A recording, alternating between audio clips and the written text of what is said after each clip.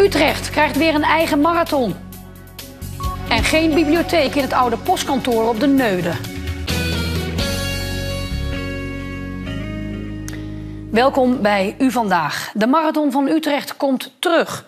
Vanaf volgend jaar heet hij Marathon Science Park.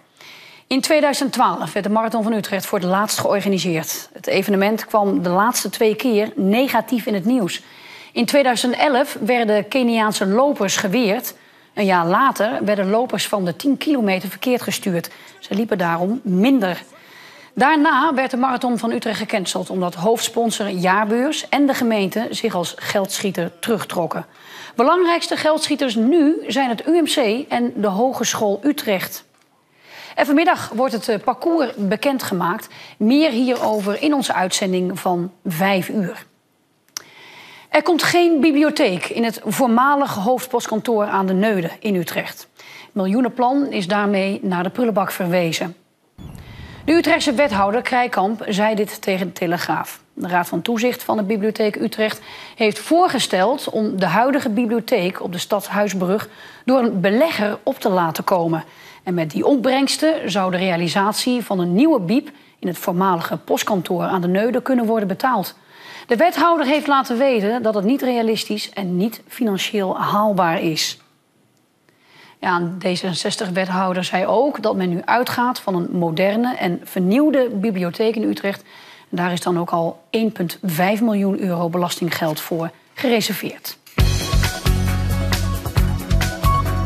Bewoners die op de vervuilde grond in Doorn woonden, willen de gemeente Utrechtse Heuvelrug dwingen tot het kopen van hun huis.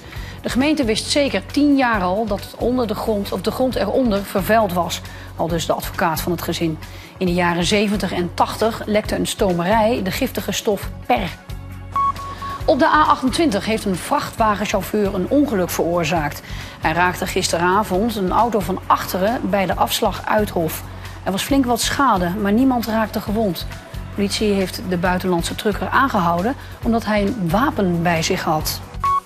In het bos tussen Den Dolder en Beeldhoven stond vanmorgen vroeg een auto in Lichterlaaien. De brandende Audi stond aan de bosrand in een weiland langs de Soestdijkse weg Noord. De brandweer heeft het vuur gedoofd, maar de auto is compleet uitgebrand. Het is opvallend dat de wagen valse kentekenplaten had. Mogelijk is de auto gebruikt bij een misdrijf. Politie stelt een onderzoek in. Gaat het lukken of niet? Stemmen werven om jongeren vertegenwoordiger te worden bij de Verenigde Naties in New York.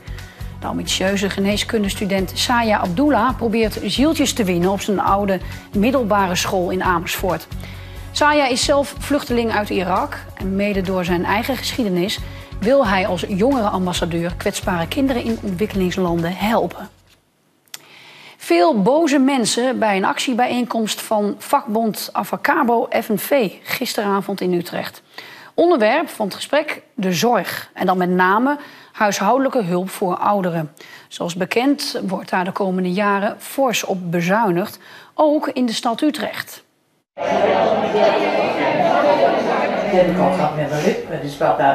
Terwijl de bijeenkomst op het punt van beginnen staat, puffen Loes, Jan en Afra uit van het koffieschenken in het keukentje. Ze werken al jaren als vrijwilliger in de Nicolaas Monica Kerk, waar Advocabo FNV de discussieavond houdt. Maar ze zijn geen cateraars. We hebben wel eens een groep gehad. En niet de nadeel, maar die zeiden dus van, eh, dat kunnen de dames van de catering wel doen. Nou, dan zeg ik dus alleen maar, nou sorry mevrouw, maar zijn wij zijn geen catering, wij zijn allemaal vrijwilligers. En dan, want dan veranderen ze, want ik bedoel, ik verbeeld me niks. Maar we zijn net, we zijn net zulke mensen als jij en als iedereen wel. Ja, dus eh, ja. catering echt zo van, eh, In het zaaltje zitten zo'n 70 bezorgde Utrechters. Medewerkers van thuiszorg en mensen die er gebruik van maken. Loes, Jan en Afra kennen veel Utrechters die afhankelijk zijn van bijvoorbeeld huishoudelijke hulp. Riep van der Vliet, die Sjaan, uh, Jannie Jansen, Ja. eh, Cor, Cor Klarenbeek, dat zijn er een heleboel. Dat Kunnen die mensen ook zonder? Dat u denkt, nou, Nee. ze kunnen Nee. het misschien. Nee, Nee, echt niet. nee, echt niet. Toch moeten die mensen het binnen een jaar met een stuk minder hulp doen. Gemeentes krijgen straks 40% minder geld van het Rijk voor de huishoudelijke zorg. En dat betekent minder uren hulp. Onacceptabel, zegt Advocabo FNV. Je moet ook je realiseren dat het vaak gaat om mensen die al licht dementerend zijn. Of een verstandelijke beperking hebben. Of psychiatrische problemen hebben. Eh, die echt hun huis niet op orde kunnen houden. En je moet ze daarbij ondersteunen. Maar volgens de gemeente Utrecht moeten er nu eenmaal moeilijke keuzes gemaakt worden. Maar we hebben er wel voor gekozen om de zorg die we kunnen bieden zoveel mogelijk te spreiden over zoveel mogelijk mensen. En we zorgen ook uh, dat we zoveel mogelijk uh, de private markt ontwikkelen. Extra hulp is dus mogelijk, maar met een eigen bijdrage. Loes, Jan en Afra hebben er een hard hoofd in. Dan zeggen ze wel van, dan moet je op je familie. Mijn hele familie woont in Noord-Holland. En mijn zus woont in Brabant. Ja, ik ben de jongste van de familie. Ik heb een broer van 82, een broer van 76, een zus van 78. Ja. En die komen, de kind toen die zeggen, kom, dat kan toch niet? Hopelijk blijft dit drietal voorlopig nog fit genoeg om voor zichzelf en anderen te zorgen. Ja, die extra private zorg waar wethouder Jongerius het net over had... Daar heeft de gemeente Utrecht op ingetekend bij het Rijk. Mensen kunnen dan een huishoudelijke hulptoelage krijgen om zelf meer eh, schoonmaakhulp in te huren, maar betalen daar dus wel zelf aan mee. Ja, dan nog even voor het weer. De belangrijkste voetbaluitslagen van gisteren. Van topklasser GVVV is er gisteravond niet in geslaagd. Te stunten tegen AZ, de nummer 10 van de eredivisie. In de derde ronde van de KNVB-beker verloren de Venedalers met 5-0. En Sportlus 46 speelde ook in die derde ronde van de beker. De Woerdense eerste klasse verloor van de nummer 3 van de Jupiler League. En dat is FC Volendam. Uit in Volendam werd het 3-0. Ja, en dan nog het weer. Vandaag blijft het nog lange tijd bewolkt. Er kan plaatselijk wat motregen vallen. Later in de middag verschijnen er uh, vanuit het zuidwesten een paar opklaringen. De wind is zwak uit de zuidelijke richting en het wordt zo maximaal 14 à 15 graden.